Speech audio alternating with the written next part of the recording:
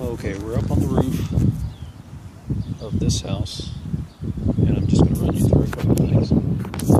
On the front side here, you've got the architectural shingle, uh, different size tabs on there. Your ridge vent is just your regular, or your ridge is just your regular tabs.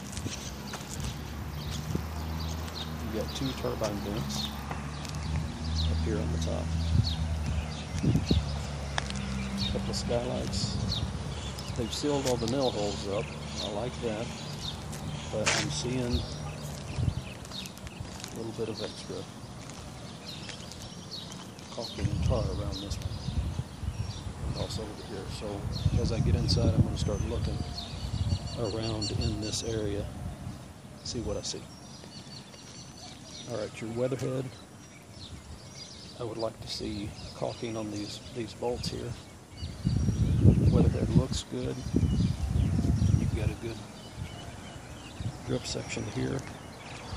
Overhang of the wire is way too low. If I get down, you can see it is maybe 10 inches above the, the roof deck. Also those trees, that tree right there, needs to be cut back so that it doesn't rub up against it.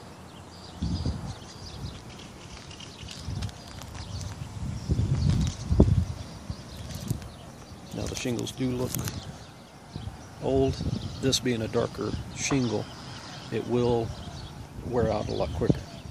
You do have one section, I don't know if it's going to show up in the video here. You have one section right here that's been patched. It's a different color.